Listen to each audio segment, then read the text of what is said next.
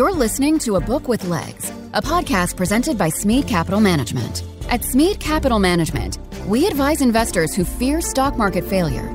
You can learn more at smeadcap.com or by calling your financial advisor. Welcome to a Book with Legs podcast. I'm Cole Smead. I'm the president and a portfolio manager here at Smead Capital Management. At our firm, we are readers and book junkies. It can be said that leaders are readers, and we believe books provide us a great source of information for filtering what is and isn't important for us as investors. Investing is the last great liberal art and the best way to spend a lifetime of learning. This podcast is for readers, thinkers, business minded people, and investors who want to grow their knowledge from great authors and their writing. Charlie Munger often talks about using multiple mental models in analysis. Our aim is for this podcast to help listeners test Munger's theory in business, markets, and people. I'm glad everyone has joined us for this episode. We are going to talk about some economics that are strange, and our guest explains better than anyone. Dinny McMahon is joining us to talk about his book, China's Great Wall of Debt. Dinny was a journalist covering the Chinese economy and financial system at Dow Jones and the Wall Street Journal. Mr. McMahon was a fellow at the Woodrow Wilson International Center for Scholars he was formerly with Macro Polo, the think tank arm of the Paulson Institute. Before I welcome Dinny, I just want to mention that Dinny is the first Aussie, and I feel honored to have him on the Book with Legs podcast. Dinny, thank you for joining me today. G'day, Cole. Thank you very much for having me. I'm excited to be here. Me as well. So, uh, I need to tell you first that your book did such a great job of describing how bizarre the economic system of China has become uh, with great stories, really kind of getting into the people on the ground, which I, I really enjoyed. I have to ask you, what inspired you to write the book?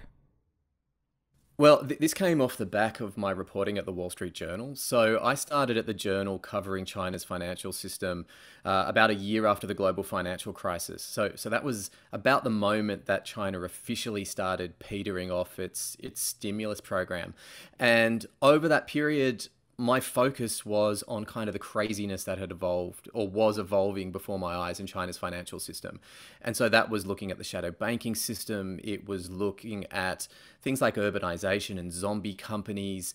Um, and you know, I was traveling around the country, seeing all this waste and excess um, and perverse incentives leading to really strange financial outcomes. And over time, I realized that these weren't disconnected individual stories um, and that there was a real thread running through it. Now, as, as a journalist, when you kind of have to bounce from story to story and, and you typically don't get more than 1,500 words to, you know, explore any given idea, mm-hmm. I kind of really needed to step back and have the time and the space to kind of put my thoughts together and put all this together to actually get a sense of how China's economy works from the ground up. And this that's what this book is. It was really a cathartic experience bringing together the, the breadth of what I'd done at the journal just to try and make sense of it all. And obviously, things have changed since you wrote the book, um, which came out in 2018. Um, but things have changed a lot in terms of kind of the West view of China. Um, you have a great quote in your book uh, from Thomas Friedman of the New York Times. Uh, you quoted him saying, "quote What if we could be China just for a day? Um, we could actually, you know, authorize the right solutions." End quote. He said that in 2010. I, remember the West talking about it in that kind of context, where if we could only have more control, we might be able to get things done. Um, did you see that a lot in, in in journalism then, and how do you look at that compared to now? Yeah, there was this real sense that uh, you know the West was dysfunctional and China seemed to be able to get things done. I mean, the great example being China's high speed uh, high speed rail network.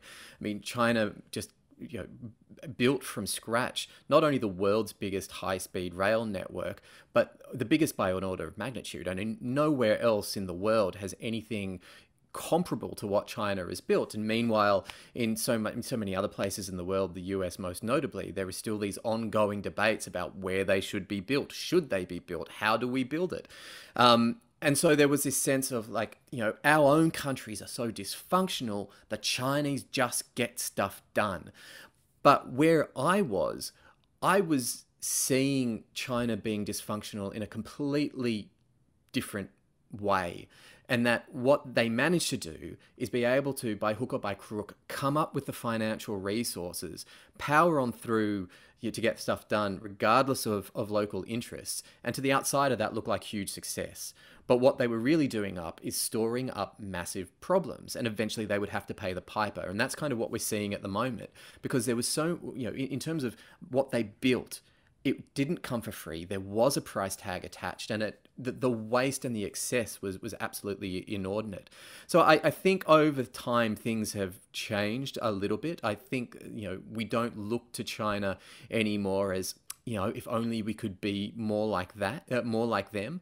But I, I, think the degree to of understanding of just how dysfunctional China's economic system can be, I'm, I'm not sure that's fully petered through into the into the Western appreciation of, of that economy as yet. And you pointed out uh, that's the West at large, but then you look at you know you're from Australia originally.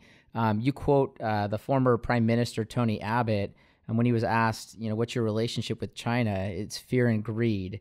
Um, how troubling is the relationship for countries like Australia or other countries with large economic ties? Yeah, it's a complicated question um, because you know Australia has done incredibly well out of its relationship with China. I mean, there was a, a period of time where no matter what we dug out of the ground or whatever we produce, the Chinese were willing to buy. And so if you kind of look at what Australia was selling to China at its peak, it was, you know, the obvious things, you know, LNG, uh, coal, iron ore, but then it was everything from sort of wheat to live uh, um, live uh, lobsters to berries and fruit to you know lavender stuffed toys. Um, you know, in Australia, uh, Australian produced vitamins and dairy, hugely popular in China. Um, and then the relationship, the political relationship um, between the two countries has soured progressively and, and over the last year or so, or the last 18 months, quite dramatically, um, to the point that effectively uh, China stopped importing from Australia a large number of very significant imports. And so they, you know, th- there hasn't really been an explicit ban on any of these things. China's kind of used, uh, you know, administrative measures to uh, prevent things from coming in, uh, effectively told importers and, and, Chinese companies to stop buying from Australia. Um, and so the big ticket items in particular, things like coal, the Chinese have stopped importing from Australia. You had um, shipments of coal from Australia effectively sitting off the Chinese coast for months because the Chinese wouldn't give us a straight answer as to whether it was allowed in or not. Um, and pretty you know, wine as well. And so it, it, this was clearly an exercise in economic coercion because China has done this to a, a number of other countries before.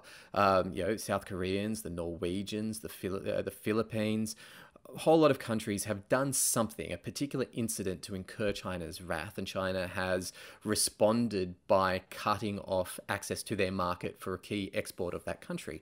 But they'd never done it before on the scale to which they'd sort of imposed these measures on Australia. And it, it was fairly clear at the time that this wasn't just about Australia. This was going to be a lesson to the rest of the world that, you know, if you want continued access to China's market, markets, you kind of have to play ball because, uh, you know, China can turn off the spigot as, reg- uh, as readily as they can turn it on. The strange thing is, though, is it did not go according to plan because Australia, for all intents and purposes, managed to reroute most of its exports. And I think in some ways that's the advantage of having a, a commodities based uh, market. China, Australia, I think most of its coal went to India. Uh, wheat, for example, I think most of it ended up in the Middle East. Um, there, there, there were a whole lot of uh, I don't want to say tricks, but there were a whole lot of measures that the Australian export machine managed to employ to find new markets and uh, effectively that they didn't entirely come off scot free, but there wasn't a significant impact on on China on, on Australia's economy. So the lessons of this are twofold. One, China's ability to exercise economic coercion isn't perhaps as great as everybody had it, thought it was in the first place. The second thing is that in some ways Australia is in a unique position because its exports are commodity uh, uh, are largely bulk commodities, which means you know the globe has global markets for bulk commodities. If one market gets shut off and decides not to buy from a particular source, well, they have to buy from another source. And so everything just gets shuffled around. And just because China isn't buying our stuff, somebody else will. Now, not every economy is in this same position. If you take an economy like Germany, for example, which uh, its economic relationship is with China is huge, but what they mainly expect are sort of big ticket items, but but manufactured goods and capital goods. Now, if China stops buying what the Germans sell, there isn't another market that's readily going to swoop in and, and take up the excess. So, you know every, those countries that have a significant export exposure to China uh, are do kind of have to work out how to manage the potential for that relationship to go sideways. But everyone is in a slightly different position based on what that export mix actually is. You commented in your book that the former finance minister of China, uh, Lou Jiwei, uh, said they needed to stop the accumulation of leverage but he said the economy can't lose speed. Uh, not to cast a pall over our conversation, but I, I got the strong sense early in, in your writing that you were skeptical of whether that could be done. I, is that correct, or am I reading that wrong? No, I was. When I was writing the book, I was like, you know, they, you know, I can't see them being willing to allow economic growth to fall below a certain level. Um, and the thing about Lou in particular is he's always been a bit of an outsider, he, sort of one who speaks truth to power but isn't particularly popular within the system. So when he was talking along those lines at the time, I wasn't convinced that would happen. But increasingly it is. So for years there was this sense that China, it wasn't a sense, it was a, a an expression within the system that economic growth had to be maintained above 8%. Um, and even the 8% was a minimum. So during that period, China was growing in excess of 10% and sometimes 11%. But those days are, are, well and truly over. I mean, you know, in the fourth quarter of last year, year on year economic growth came in below 5%. And it's been gradually getting lower year on year. It would have still been getting lower even if the, the pandemic hadn't happened. So there is this genuine downshifting of the economy. Um, and the reason is because they know they can't rely on this generation of excessive levels of debt anymore to generate growth. And they had been dependent on that happening.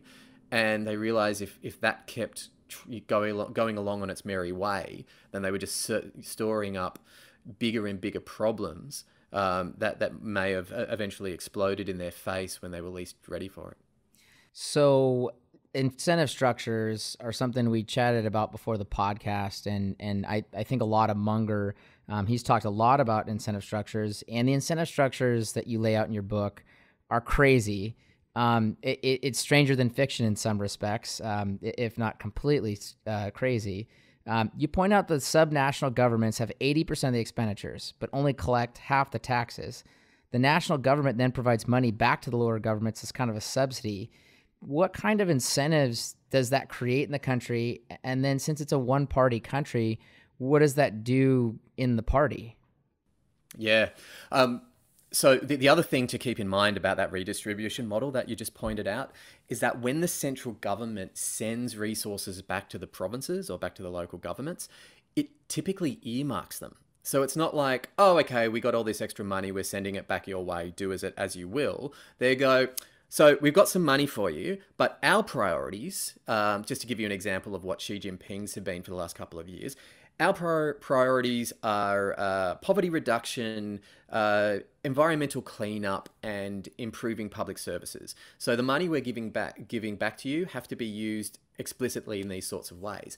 Now that creates all sorts of problems because traditionally the way that local government officials get assessed, so the metric by which they are judged as to whether they are a successful official or not, particularly if they're a, governor or a, a city mayor, is the degree to which they are able to generate economic growth at a local level.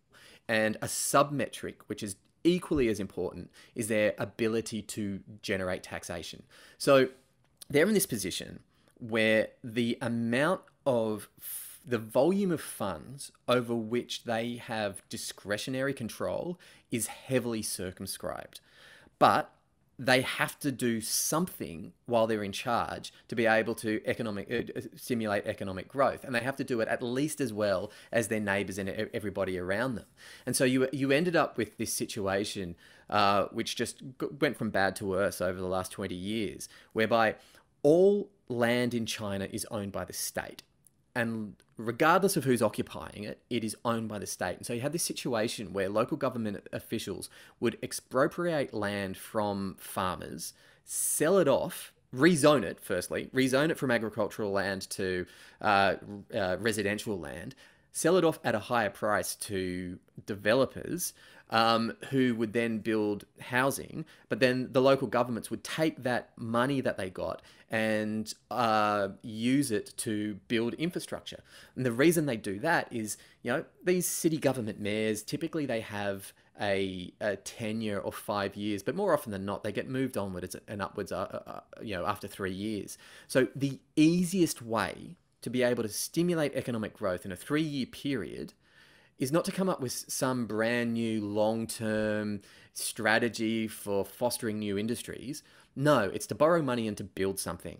And that is kind of what this whole land, you know, this, this whole sort of land expropriation model came from. So local governments don't have the resources to, to stimulate economic growth. They expropriate land, sell it at a higher price, build something, um, borrow money against future land sales um, you know, build more stuff with that. And so you end up with this situation where local governments end up being heavily indebted, and the official that borrowed the money, having proved their worth as a successful official, then gets moved onward and upward, and then the next person has to come in. The next person comes in, has the same incentives, the same constraints. The only problem is that they are now presiding over a, a, a local government with a, a significantly more heavy debt burden, but they just repeat the whole cycle. And this has kind of been what we've seen over the last 20 years. Local governments have accumulated more and more debt at the same time that they have expropriated more and more land from lo- you know, from local farmers in this kind of one-off privatization of a state resource. Um, and this is where a lot of the waste that I was talking about before came into it because you know what was important for local officials was not to build infrastructure that would be of value. It was more just to build something. And so you know I've been to cities with ornamental lakes and you know cities that have tried to recreate a version of the Great Wall of China and, and create a, a, tourism industry from scratch with a, a, you know a fake Great Wall, you know all, all these sorts of things which aren't really you know value added infrastructure projects, but it didn't really matter because the whole uh, process of building it stimulated growth in a sufficiently short time period, and the person responsible for it is no longer there when the when when the bill comes due you point out that they cannot raise taxes um, because the political structure of this all. Um, and you argue, therefore, that's why the development business is so good. What do governments do when they can't develop land? Um, well, I guess this is a, a, a, an issue that we're looking at at the moment um, with the you know the the problems that have sprung up around Evergrande. I mean, clearly, what we're seeing with China's prop, you know, property market at the moment is no longer about Evergrande. Plenty of other developers have defaulted. Mm-hmm. Uh, you know, land sales are falling. Um, you know, land prices, uh, sorry, uh, uh, housing prices are starting to fall. Developers are becoming less willing to start new construction projects. And so local governments are not able to sell as much land as they used to be. And now that's going to create all sorts of problems for two reasons. One, because they have fewer resources with which to stimulate local growth. And secondly, they have fewer resources with which to pay off their existing debt burden.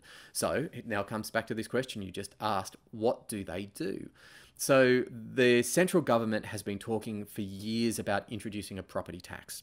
Literally years. When I was a, a journalist, it, it was something that we were constantly watching for. Officials were constantly talking about, but year after year, it never got rolled out. The most we've seen so far is a trial in Chongqing and in Shanghai. But if you take Shanghai, for example, the revenue from that property tax uh, is only about 10% of the amount of money that the city raises each year from land sales. So it's not really a substitute for, for, selling of land. So ultimately, what usually happens when a local government is really hard up for cash, they raise fees and they raise fines. So it's it's by hook or by crook they kind of look for other sources of revenue. So you know, to be able to use the national, the, the local park, fees will go up. Uh, parking fees will go up. Parking fines will go up. Uh, companies will all of a sudden discover that they are in violation of some uh, environmental regulation that uh, hadn't been an issue up until now. Uh, small companies will be told that they have to attend uh, compulsory training sessions for something or other, uh, and they have to pay through the nose for the privilege for the privilege to attend. So by hook or by crook, local governments start trying to squeeze both the local population and local businesses, and in particular small private businesses. Now Beijing tries to stop that and have been pretty explicit that this sort of behavior is is not on partly because Beijing is very enthusiastic about trying to help support small businesses and entrepreneurialism but local governments don't have too many other options available to them. So you know that is pretty much the only solution available to them and and that's the sort of behavior that you see. Can you teach our listeners about those businesses you talked about just a second ago carrying three sets of books uh, yeah. So there, there's an old idiom in China that uh, your typical private business carries three sets of books uh, one for their banker, one for the taxman, and a legitimate one for themselves. There's also a, another expression that says that some even have four sets of books, the fourth being for their spouse. Um, but the idea is that the, the idea is that, and this is this is one of the reasons that uh, it, sort of a, a big traditional problem in China's financial system is that the banks have been unwilling to lend to the private sector, and in particular to small private firms. Now, to a certain extent, that is a problem globally. Uh, that small firms never have access to credit to the degree that they ideally need. But it, it's certainly a bigger problem in China where the banks are, are, are temperamentally predisposed predisposed to lending to the state sector. And one of the reasons that the, the authorities have had so much trouble getting the banks to pivot is because of this problem of the three sets of books. The banks don't really know, you know, when they ask for, you know, to, to you know, to to to see a, a, private sector company's books, they don't really know what they're seeing. Is this the legitimate version, or should they just assume that they are seeing a gussied up version, which is uh, effectively a sales pitch? Um, but it is a, a, a genuine problem, and it, it's a reason why China's banks have been so reluctant to lend more than they do to the private sector you point out to your readers that China's media has referred to all this debt and waste that's kind of built up over time in these practices as original sin. Um, I found this to be just such an odd term to hear from a government media uh, dominated society. Um, it's a spiritual term. Do you find this strange? I mean, does does this actually describe kind of the spiritual nature of the culture? You know, I always found that expression quite strange as well. When it first popped up, it, it seemed quite out of character. And, and, to be honest, you don't really hear it anymore. Um, I, I, I don't really think it reflects anything fundamental about China. Um, I, I, think it was just a, a, pithy term that the media kind of, you know, glomed onto. Um, but yeah, I, I don't think it, it really says that much about uh, about about China. So coming from Australia, your father obviously was involved in in building some of the mine businesses, um, and you bring your readers into this uh, city of Erzong and the the, the steel business. Um, this has kind of been a common strategy of China, you know, low margin, commodity oriented markets. Um, can you kind of explain the basic premise of China's strategy in, in these type of businesses? So there if you look at the the businesses China really dedicated resources to when it was you know pretty much from the turn of the century so you know early on you had a lot of uh, sort of ground up uh, businesses in light manufacturing. But when China really started dedicating financial resources to business, it uh, to industry, it went into things like steel and glass and producing paper, um, construction machinery, cons- construction, shipbuilding. Um, and the interesting thing about all of these industries is that they don't kind of conform with the vision that we have or the understanding that we had of China as being a, a low cost manufacturing center. You know, the idea was that the, the sort of businesses that would naturally migrate to China would be those that would take advantage of low cost labor. These sorts of businesses, you know, uh, you know, steel, paper, glass, they're all capital intensive and they also typically are energy in intensive as well. Um, and so the only way that these industries were really able to thrive was the provision of state subsidized capital in huge volumes. Now, the reason China kind of, you know, embraced these sorts of industries is because they were seen as being an you know important step up the value added chain and they were also incredibly important in terms of um, supporting uh, the development of other Chinese industries and other dr- growth drivers. So particularly when we're kind of looking at things like, you know, uh, you know, power production and steel and glass and you know shipbuilding and cement const- cement generation and construction machinery. I mean, all of these businesses, either directly or tangentially, fed into China's urbanization and uh, uh, you know, urbanization drive. And if you kind of look at where China's growth has been, really for the last 20 years, I mean, we're always inclined to think, well, this has been an export miracle. And certainly early on, exports were vitally important to China's economic transformation because that's where they got you know, foreign currency. Um, but what's really driven growth has been um, you know, has been real estate and, and kind of you know let's say real estate writ large. So not just the construction of housing but also infrastructure construction as well. So these days the property sector accounts for about you know 30% of China's economy.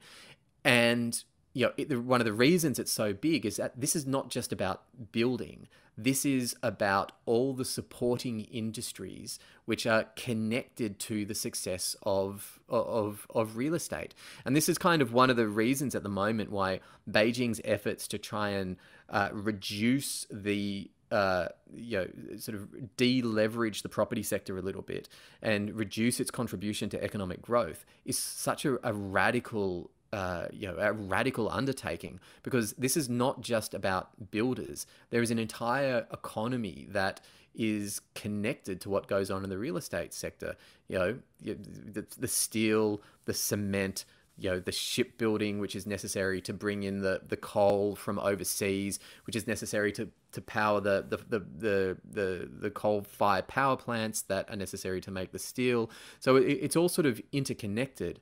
Um, but as that sort of gets pared back, it's, it's going to have a significant impact on China's economy.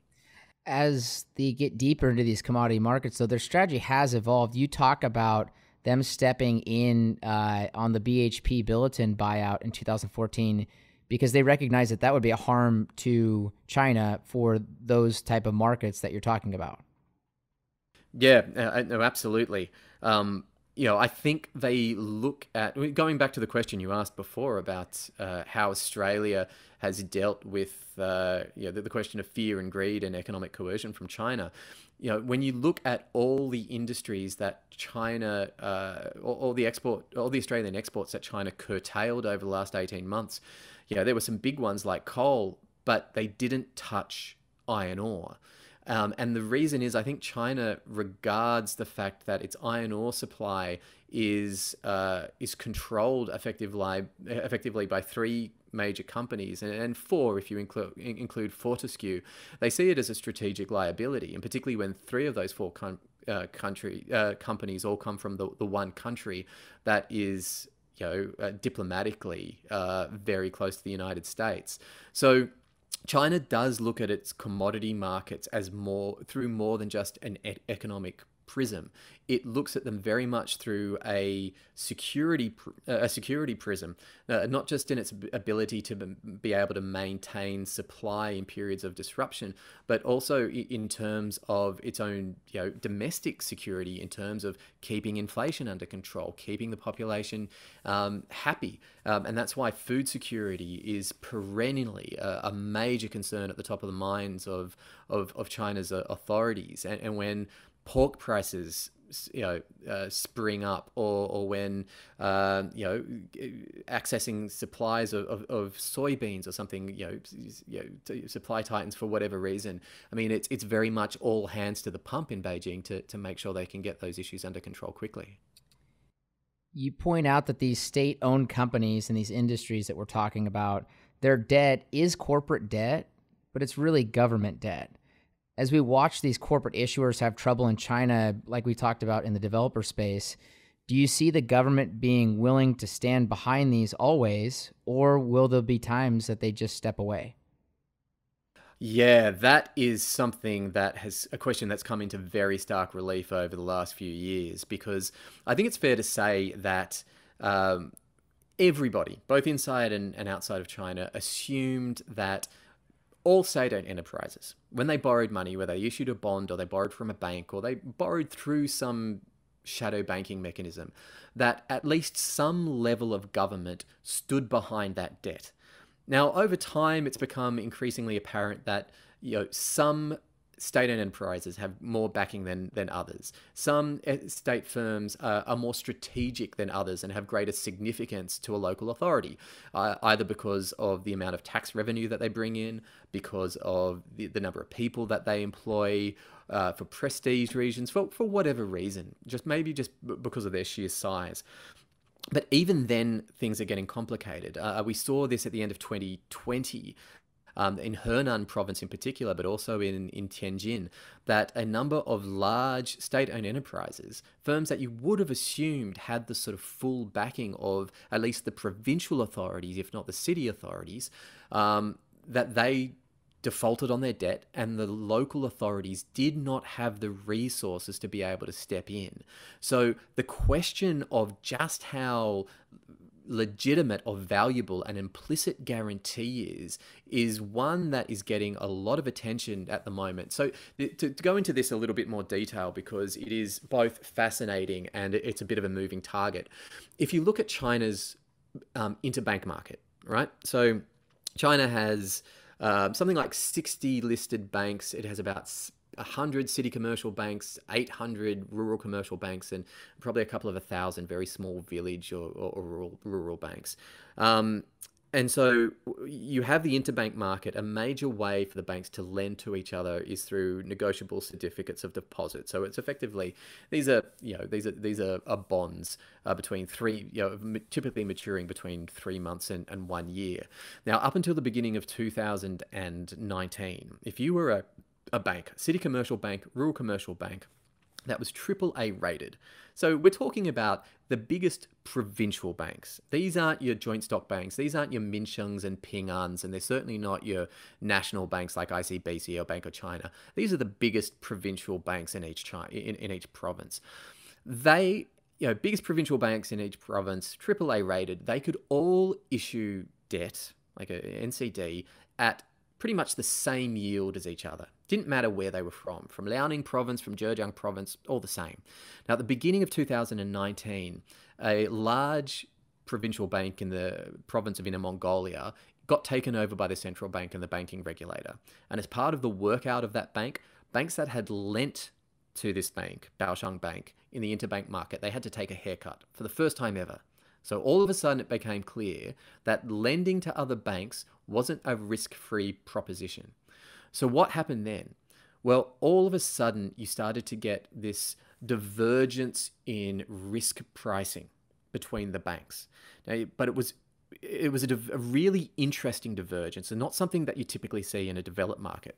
So even to this day, for banks you know the biggest banks, AAA rated banks in the you know in most provinces, they can still issue debt at exactly the same yield. So if a bank, AAA rated, you know, large local bank in Zhejiang, Jiangsu, Shandong, Yunnan, all the most of these provinces can all issue at exactly the same rate. Doesn't you know? No one's taking any, into account you know uh, differences in risk between the banks.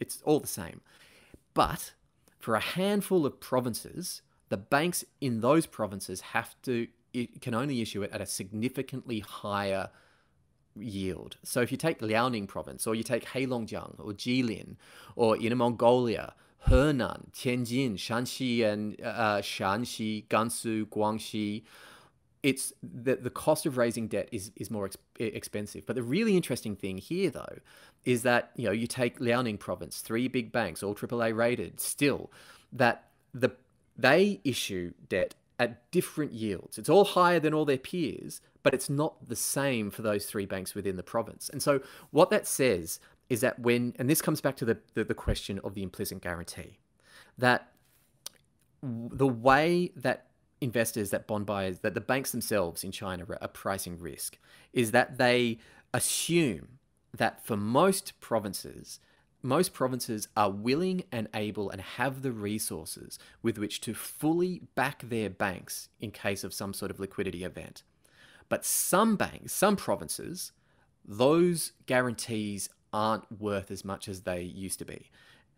And so you've, you've kind of got this very you know strange emerging situation where you know the the the, the implicit guarantee people are starting the banks in particular are overtly aware that depending on where an institution is based geographically in China and depending on what government is backing you, a guarantee might be more valuable than based on other places. It's, it's a fascinating space. It's, it's evolving. It's evolving rapidly, but it's also a, a, something that I don't think is is genuinely a, generally appreciated outside of, of China.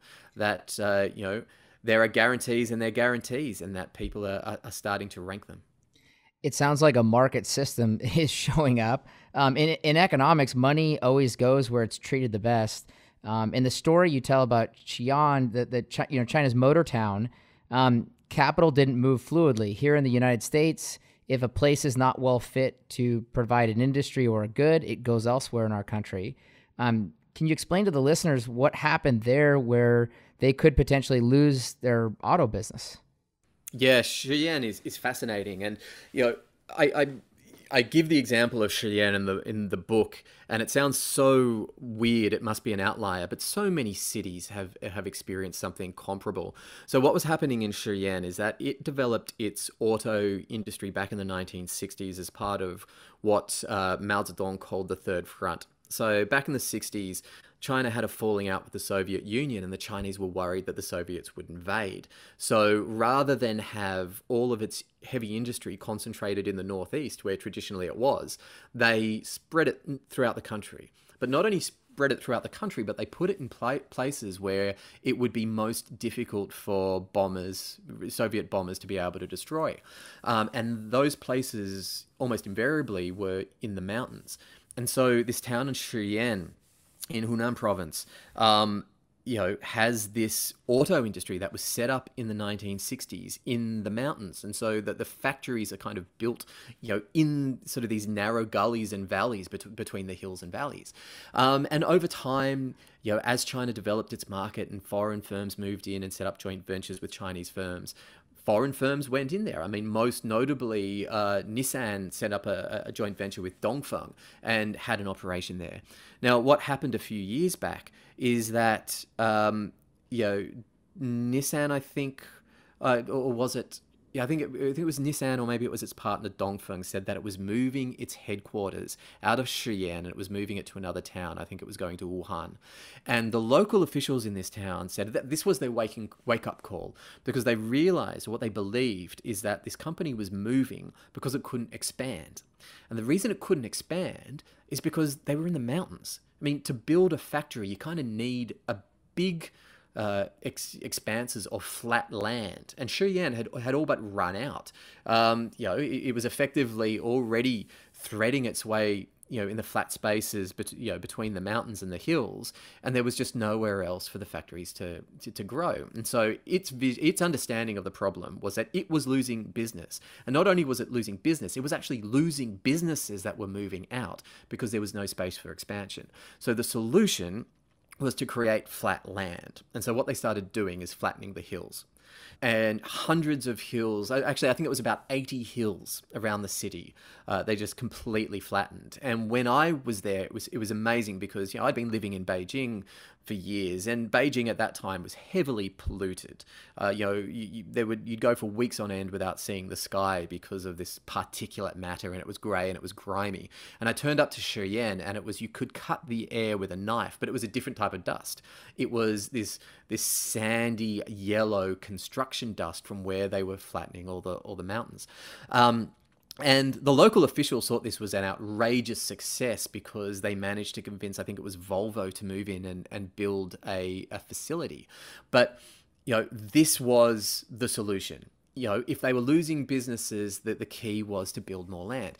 And this kind of goes back to the perverse incentives you were talking about before, Cole, because, you know, local governments are all competing to attract businesses right? Uh, and they ideally they like you know uh, heavy industry. They like manufacturing businesses because of the types of taxation that it generates and because you know it, it sort of you know brings in generally generally sort of relatively low skilled jobs.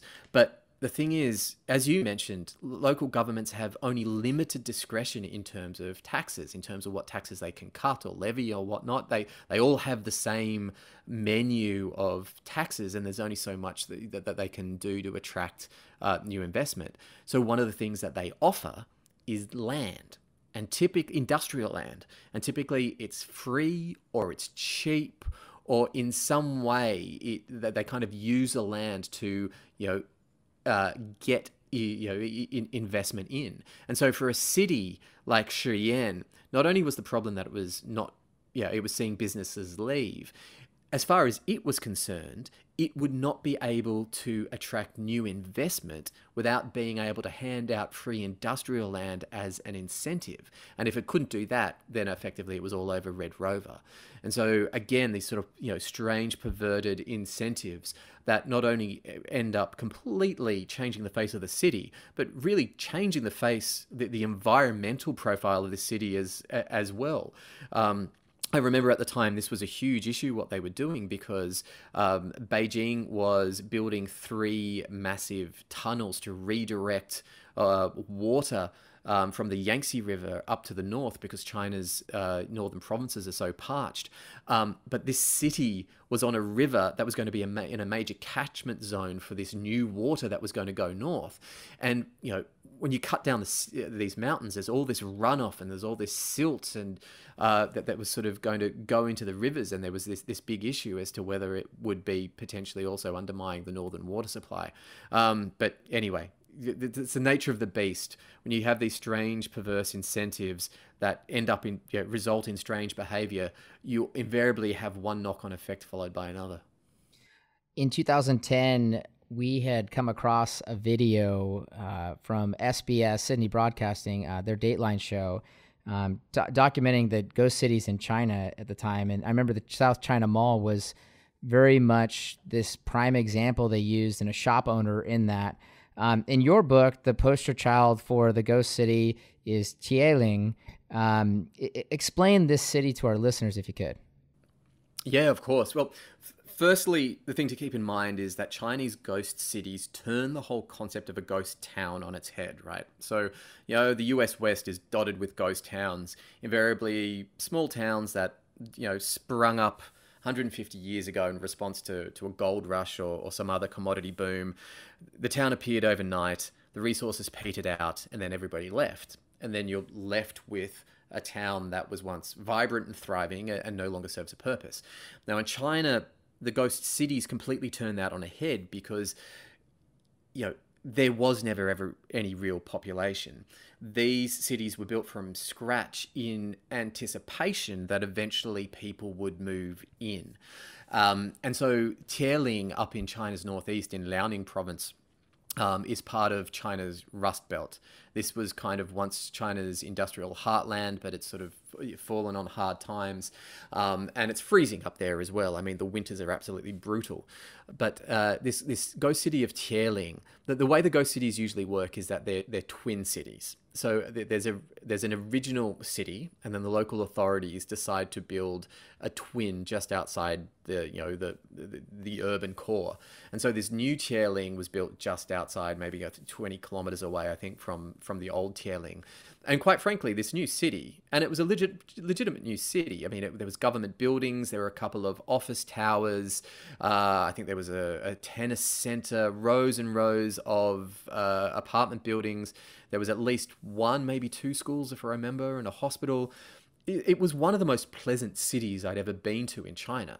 I mean, this thing had been landscaped from scratch by one of China's best respected, um, you know, urban designers. I mean, that they built this. There was this beautiful lake um, which they'd dug out. They'd taken the the soil from the lake and they'd built a man-made hill on the other side of the city. Um, it was built next to a, a, a, wetland which had seen you know better days. I mean, it had been really used and abused by the original city.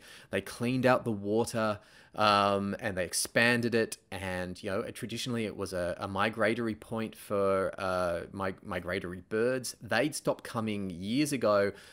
Now they were coming back. It, it was lovely. It was a really lovely place to, to be. But of course, the problem was there was no people and there wasn't any real reason for people to be there. Now, the thing to keep in mind about China's ghost cities is it's when you turn up to one of these places, it's not just you and the tumbleweed. Invariably, these cities which can house, you know, which have been built to house at least tens of thousand people. When I was in Tieling, I think it, was equipped for about 100,000 people. There is kind of a kernel, like a core population, because the authorities have all sorts of tricks to get people to move in. So, for example, um, you know, I when I was in Tieling, I remember somebody sort of dismissively calling it a city of children because a whole lot of the schools in the surrounding county had been closed down, and now the kids were forced to either commute to new schools in the new city or they were there boarding. Um, uh, local government officials, for example, they would have had their offices originally in the center of the old city. Those office buildings had been torn down, and now their offices were in this new city. And, and by the same token, you know, not only are they expected to work there, but they're expected then to, to buy apartments in these new cities. So there, there was kind of a core of population. But to make a real city work, you need thriving businesses. And so, of course, Tieling was trying to attract people. It wanted to, you know, there was talk of building a, a Christian themed um, theme park, which was c- completely random given that this part of the country didn't really have any you know, underlying Christian heritage. But at least that was private capital, though. You pointed out in your book that that was a private investor, and the government had to toss it around long enough that they never let it happen, which is kind of ironic. it is, it is. But the, uh, that was the vision. That was going to be private money moving in. Uh, they built industrial parks to, you know, to, to try and attract, uh, you know, manufacturing jobs. Um, you know, a couple of factories moved in, but certainly nothing to kind of create jobs on the scale that you needed to to build a city of hundred thousand people. And so that was the problem. You know, there wasn't any reason for for people to come to this town, for migrants to move to this town. And, and this was really the problem. Um, a lot, you know, China has experienced this massive urbanization boom uh, over the, you know, over the last 30 years and there was a lot of talk that you know there'd be even more people moving from the countryside to the cities. And so it made sense for the cities to get bigger and even to build these sorts of new cities.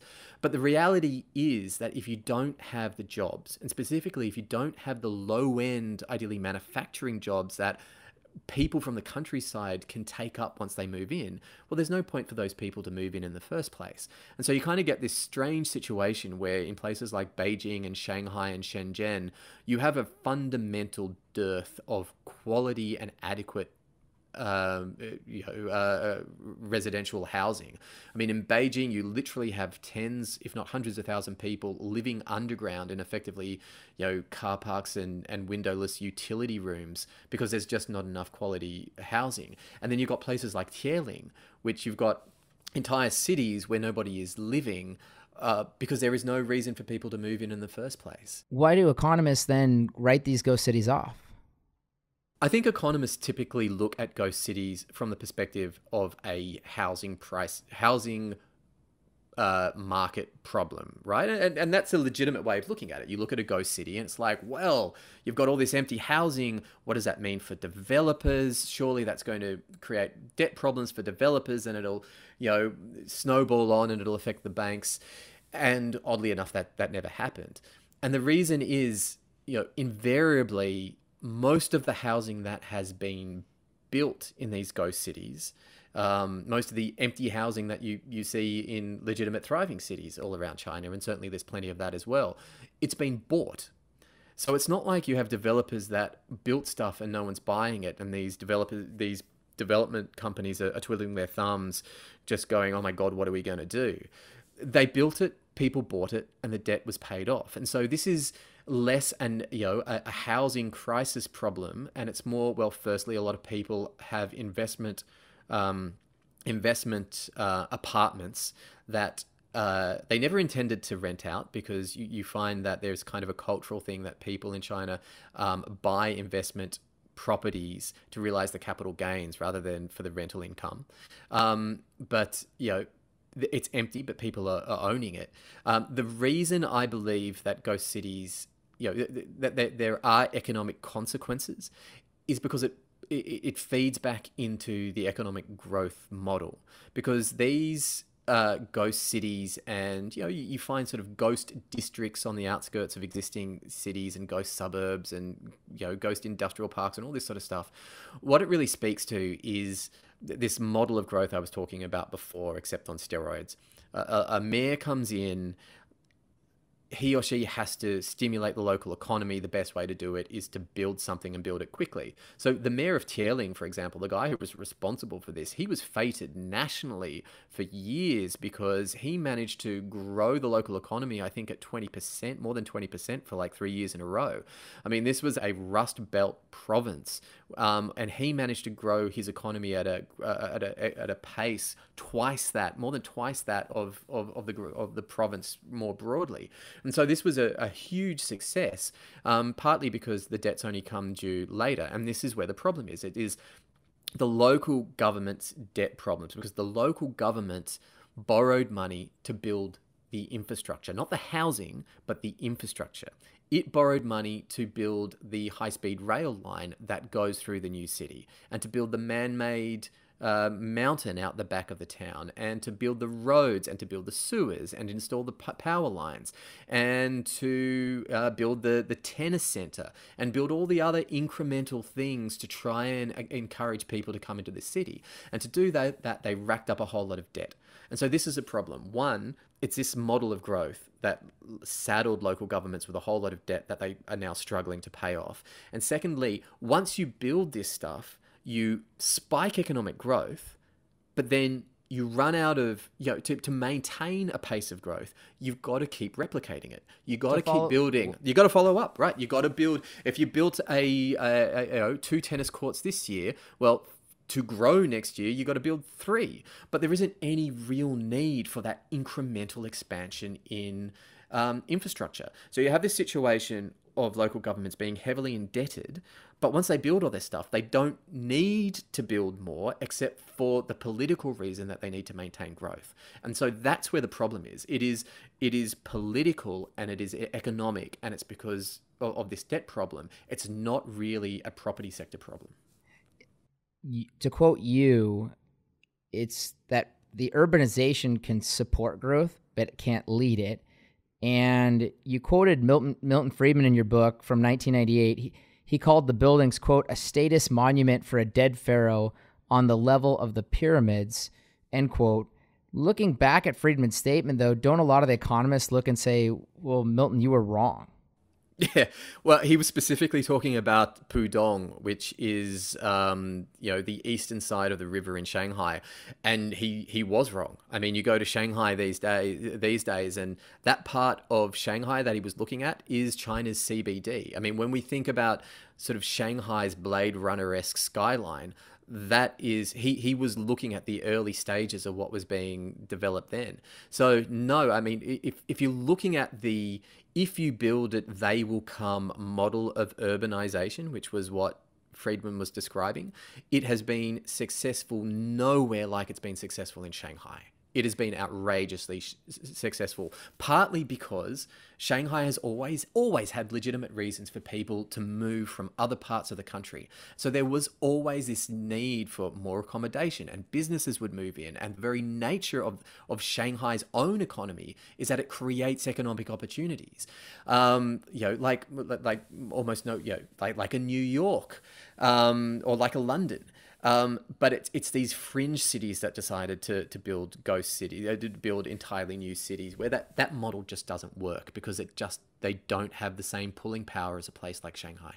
It's like they showed up at the party convention and they said, "Hey, this worked here," and they're like, "Oh, hey, the, the party's doing this elsewhere. Let's let's try it too." Let's let's pivot our conversation though. Um, you you start in in in in the in the story. You talk about what happens in these auction markets with Baijiu, the the Chinese alcohol, which is really, as you lay out, is uh, you know kind of a it's a red party. It's something. It's kind of a relic of the army from Mao. Um, can you explain what Baijiu is? Because I my biggest touch with it is I had a good friend. He'll probably listen to this podcast, so he'll get a good chuckle out of this. But he did a summer abroad in China, uh, was learning Mandarin, and he brought it back to our fraternity, and it was absolutely disgusting. It's the worst thing I've ever drank, probably. Um, and I think you do a pretty good job explaining that in your book. yeah, thank you. No, I, I feel I feel very similarly about Baijiu, but you know, the, the, the Russians have vodka, uh, the Koreans have soju, the Japanese have sake, and the Chinese have baijiu. But in terms of the hierarchy of those four types of white spirits, baijiu really has to be on the bottom of the, the pecking order. Um, there is a to kind of you know go off off track a little bit there there is this theory that various types of alcohol require a drinker to to, to drink a certain amount of it to sort of pass a certain threshold before they are capable of enjoying it. Um, you know, so you have to drink a certain amount of scotch or a certain amount of bourbon before you can kind of step back and go, you know, I actually quite enjoy that and I can kind of savor it. Um, the theory is that Baijiu, Baijiu's threshold is higher than perhaps any other alcohols that you need to drink so much of this before you can start appreciating that, that, it's, that it's hardly worth the investment of time and brain cells. Um, but yeah so what uh, the, the, the, reason you brought this up is that um, you know, starting about, oh, I guess it's maybe 15 years ago now, that started to really emerge a, a market for aged baijiu. So, so just as, uh, you know, we, we ha have vintages of wine and as they get older, they get better. Well, the same, as it turns out, applies to baijiu. And baijiu is made out of sorghum and you know they're made in a vat and so the, the actual vintage so the, the you know the, the sorghum that was grown in any given year doesn't really matter from one year to the next but as Baijiu gets older, it mellows and becomes easier to drink. And I, I fresh new Baijiu, I, I think is awful. But having now drunk some of this older stuff, I can actually start to see the appeal. It does really mellow with age. And so they sprung up this, yeah, this market for aged Baijiu, um, and specifically for Maotai, because Maotai is the premier brand of, of Baijiu in China, and partly because it is steeped in Communist Party history. Um, Mao loved it. You know, the Communist Party marched through the town uh, Maotai in Guizhou province, where it's where it's made during its long march, and so it's it's very much steeped in the Communist Party's history. Um, but the value of these, uh, you know, I, I, knew an auction owner, an auction house owner, who started putting together. Um, batches of this aged Maotai and started selling it at auction. And, you know, depending on the year and the rarity, uh, you know, the prices were, were doing quite well. And then year on year, the, the prices that these things were absolutely skyrocketing. Um, and I think we're what we're looking at the period from about, if I remember rightly, 2000 and well, probably 2010 to 2015 or 2016, and and the benchmark was um, 1985, right? Because at 1985 Maotai, there was still a, a sufficient amount out there that you could be sure that every year you'd be selling a fair amount of 1985 Maotai. And the other reason that they sort of fixated on 85 is because, if I remember rightly, the 1985 Lafite, the red mm-hmm. wine from France, is kind of the you know benchmark for Lafite. And at this time, I mean, the Chinese were buying up French vineyards and they were try- buying up French wine, uh, aged French um, uh, red wine, and Lafite 85 was the gold standard. And I remember when the auctions first started, they were selling at I think it was probably a third of Laf- you know Lafite's 85 price, and then it went up. And then one year they were selling, yeah, it was the, the, the same price. And then the last year I sort of checked in on it, it was selling at a significant premium to what a 1985 Lafite would, would sell for. And of course, no, none of this has anything to do with quality or what you know what the market really you know the, the relative value of Moutai versus Lafite. This was purely about cash in the system. And you point this out in other in other goods too. So, for example, um, you know, uh, Vancouver, British Columbia houses had this in common. Um, you point out a parasitic fungus that was uh, used for virility. Um, the Chinese soccer club started, you know, buying up talented players on on the European markets. Um, and then, as you teased it earlier, you get out to this lavender farmer in Australia. Um, d- did you chalk up all that to just, uh, you know, conspicuous consumption, kind of a financial euphoric type of atmosphere? It was it was all of those things, but what was fueling it was I, think Bloomberg coined the phrase "the Great Ball of Money." So you know, in the years after the global financial crisis, and I'm going to get the numbers wrong a little bit. I know the Western press was very fixated on, on the amount of money that the Fed printed and and the Bank of Japan printed and the ECB printed, but I think what 2009 or, or 2000 say 2009 to 2015 the amount of money created by China's financial system was an order of magnitude greater than the money supply expansion in the US, the, the EU, and, and Japan over the same period. But the thing is, the reason it doesn't get as much attention, it was a very different type of monetary expansion because in Japan, Europe, and the US, it was being done by the central bank, whereas in China, it was being done by the commercial banks. And so, of course, these were you know different things. But of course, in theory, when a commercial bank issues a loan and thereby creates money, the theory is that well, this is being done for productive purposes. But of course, in China, that wasn't necessarily the case. So much of the money that was being created was for speculative purposes. And because of these perverse incentives I was talking about before, it was leading to state firms building factories, it was leading to local governments building infrastructure that wasn't needed, and developers building housing in places that no one really was going to live in it. And so it was, it was wasteful, but it was creating money to you know fuel this waste and excess because of the, the strange you know incentives in, in in the Chinese economic and political system, but you had this massive expansion in money and it, it, it went into everything. I mean, it, in, at various times, it inflated, you know, commodities markets, it inflated China's stock markets.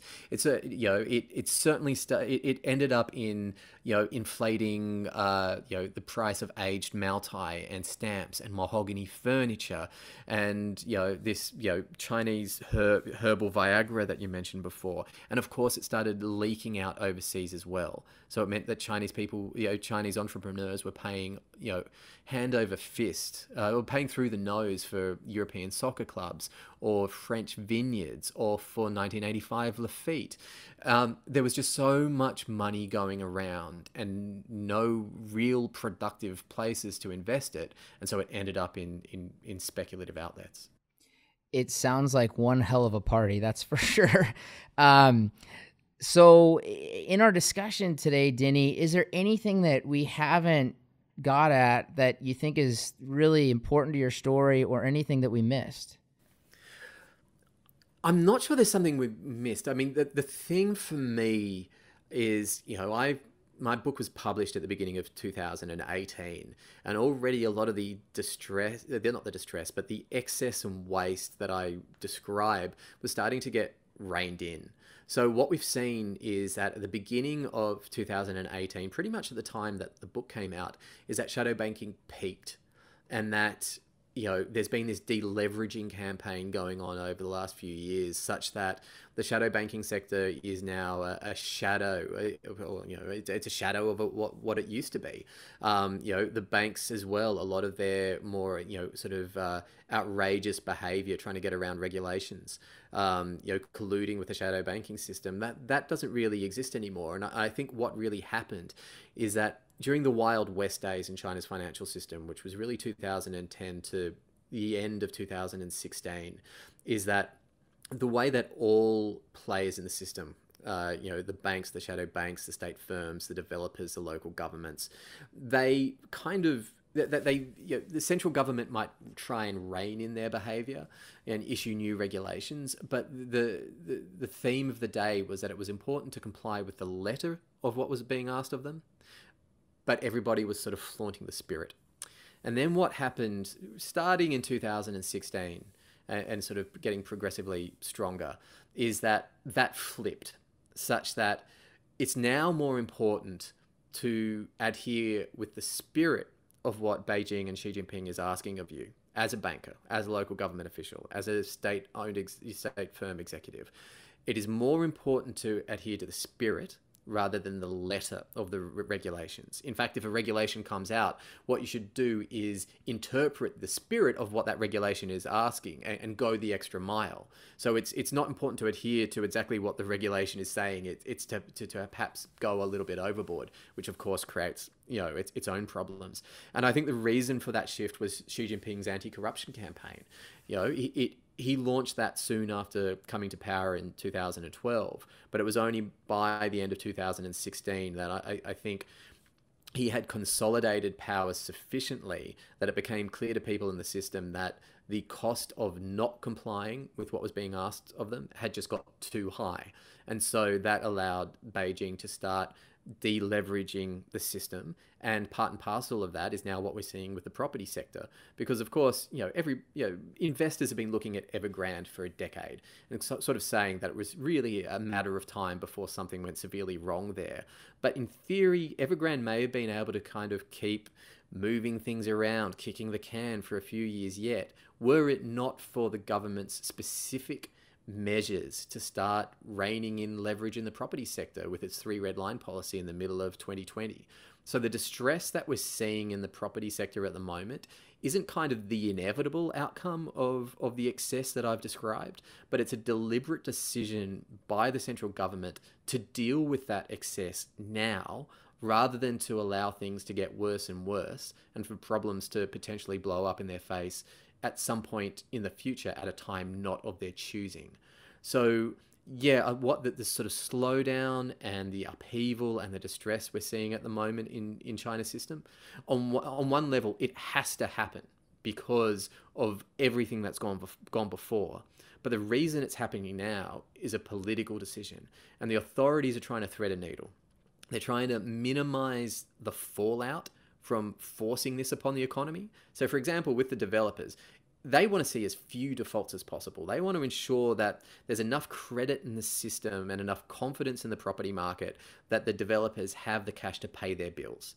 But they don't want to make enough credit available such that they reflate the system. Now, that's trying to thread a very narrow needle, but that's the game they're playing. And I think that's the that's the dynamic to watch, not just in this year, but for the next few years ahead.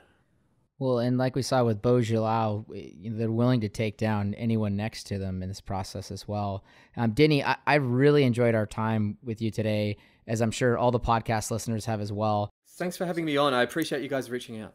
I think the one idea that I'm reminded of out of your book is actually Newton's third law, for every action, there's an equal and opposite reaction. I mean, of all these things we talked about, these incentive structures, something is a poor choice, and yet it's cemented in by almost another poor choice or kind of a perverse structure, like you talked about. Um, these Chinese policies, good or bad, have a counterforce to hold it in place. Um, so, like I said, I, we loved having you on, Dinny. This is a real treat. Um, Dinny's book, China's Great Wall of Debt is the best book for understanding how complex the Chinese economy and politics are for people there in the country and the businesses there too. I highly recommend you go buy his book and dig into these incredible stories. The, the stories of these people are fantastic. We didn't have enough time to go through all of them, but they're wonderful. Um, for our listeners, if you have a great book that you'd like to recommend, email podcast at smeadcap.com. Again, that's podcast at smeadcap.com. Thank you for joining us for a Book with Legs podcast. I look forward to the next episode. Thank you for listening to A Book with Legs, a podcast brought to you by Smead Capital Management. The material provided in this podcast is for informational use only and should not be construed as investment advice. You can learn more about Smead Capital Management and its products at smeadcap.com or by calling your financial advisor.